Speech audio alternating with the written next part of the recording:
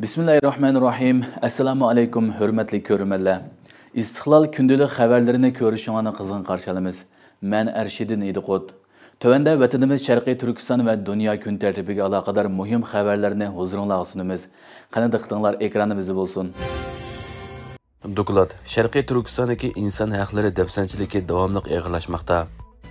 Xalqara keçirim təşkilatı 2023-cü illik ümumi doklad elan qılğan olub, Sharqiy Turkistondagi inson haqlari dafsanchiligining davomli og'irlashganligi ta'kidlandi. Amerika ovozining aloqador xabari qayd qilinishicha, Xalqaro kechirim tashkiloti 24 aprel dunyo miqyosida bir vaqtda 2023 yillik inson haqlari dokladini e'lon qilgan bo'lib, dokladda 155 davlatning kishilik huquq ahvoli baholab chiqilgan. 2023 yillik inson haqlari dokladida Xitoy va Hong Kongning navbatdagi inson haqlari ahvoli tunishtirilgan mazmunlar 6 batini oshadigan bo'lib, boshqa davlatlarga silishtirganda eng ko'p ekan. Dokladda ko'rsatilishicha Xitoy davomli davlat bexatarligini bahona qilib kishilarning so'z qilish, yig'ilish va uyushish erkinligini cheklagan.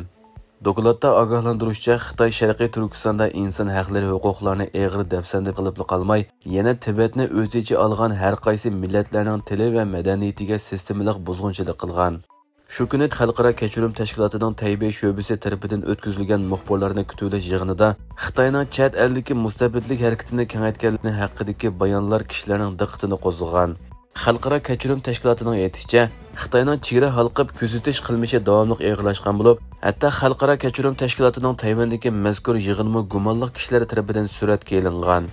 Dokladda deyilishicha, 2023 yili oktyabr oyida Xitoy xalqaro jamiyatning chaqirig'iga parvo qilmagan holda Shimoliy Koreyadan Xitoyga qochib kelgan 500 dan ortiq kishini majburiy Shimoliy Koreyaga qaytarib bergan bo'lib, ularning qaytarilgandan keyin qiyin qistoqqa ilinishi, hatto o'lim jazosi ijro qilinishi mumkinligimi parvo qilinmagan. Xitoy Germaniyaning bosh elchisini chaqirtib norozilik bildirdi. Xitoy Germaniyaning Xitoy jasuslarini orqa-orqadan qo'lga olganligiga norozilik bildirib, Germaniyaning Xitoyda turishliq bosh elchisini ministrlikqa chaqirtib norozilik bildirgan.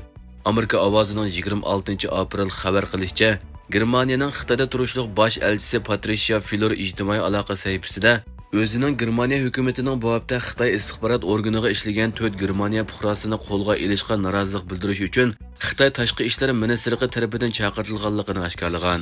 Patricia Filler Xitoy tashqi ishlar ministrligi tarafidan chaqirtilishi haqida to'xtalib, bu harakat kishini o'ylantirdi, ammo yana ba'zi ishlarni tushuntirishning yaxshi fursati deb yozgan. U yozmasida yana Germaniyadagi josuslik harakatiga hargiz yo'l qo'ymaymiz. Biz qonun orqali demokratik davlatimizni va qonun bilan boshqarilgan davlat siyosatimizni qo'g'daymiz. Germaniya federativ bosh taftishi tekshirishga rahbarlik qiladi.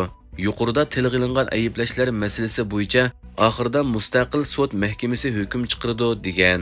Germaniya Federativ Taftish Mahkamasi axborot e'lon qilib, Xitoyning bexatarlik ministrligi bilan hamkorlashib josuslik qilish jinoyati bilan gumon qilingan 3 Germaniya fuqarosining 22 aprel Germaniyaning g'arbida qo'lga ilinganligini bildirgan edi.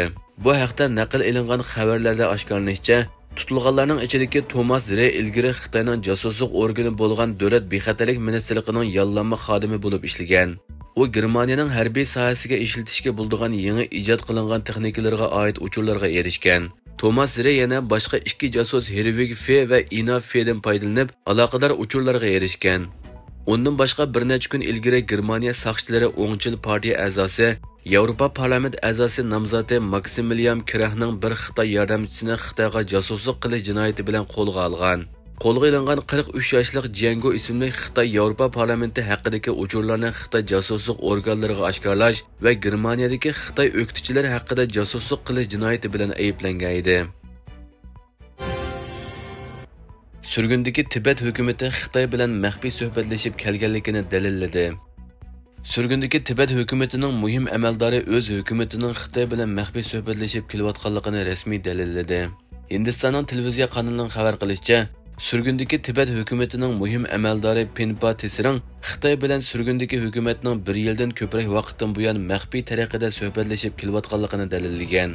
Fransiya xalqaro radiosining 26 apreldagi xabarida qayd qilinishicha, Pinpa Tesiring bu haqda ta'kidlab, biz Dalay Lama o'ttirga qo'ygan ko'p sondagi Tibetlarning qo'llashiga erishgan va surgundagi Tibet parlamenti ma'qullagan o'ttirhol yo'l siyosati orqali hal qilish chorasini tepishimiz kerak degan.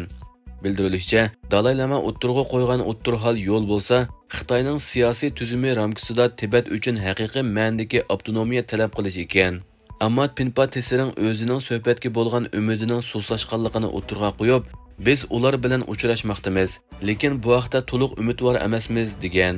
Bu xitoy bilan bo'lgan suhbatning aniqsizligini aks ettirdi ekan.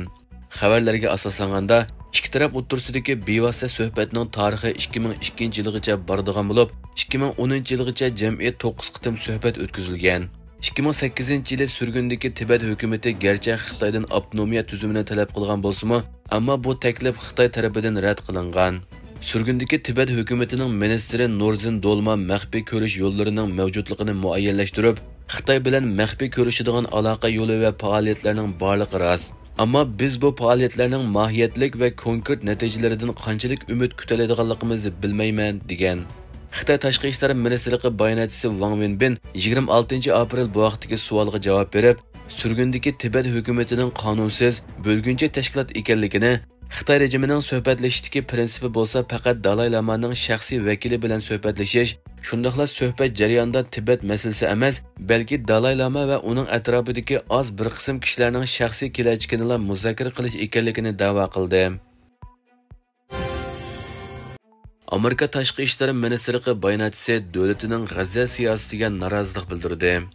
Amerika tashqi ishlar ministrligi o'rta sharq va shimoliy afrika ishlari bayonotchisi hala riharet davlatining g'azza siyosatiga norozilik bildirib vazifasidan istifa berdi. Turkiya ovoz radiosining bugungi xabarida qayd qilinishicha hala riharet ijtimoiy taratquv to'rbiti linkedin hisobida e'lon qilgan bayonotida amerika tashqi ishlar ministrligida uda 18 yildan buyon ishlayotganligini eskartib amerikaning g'azza siyosatiga norozilik bildirib aprel oyida vazifamdan iste'fo berdim. Krizisni qurol yaroq orqali emas diplomatiya orqali hal qilish kerak. Davlatimiz tinchlik va ittifoqlikning kuchi bo'lishi lozim degan. Amerika tashqi ishlar ministrligi qarmog'ida 2005 yildan buyon ishlayotgan reharet 2022 yili 8 oydan boshlab ministrlikning o'ttir sharq va shimoliy afrika ishlari bayonotchisi sifatida vazifa o'tab kelgan.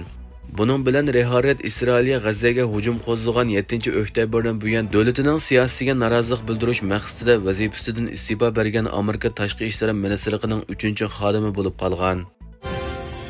Hurmatli ko'rmanlar, bugungi xabarimiz mushu yerda oyoqlashdi. Ko'rganinglarga rahmat. Atigi programmada ko'rishgacha omon bo'lgaysizlar. Allohga omonat.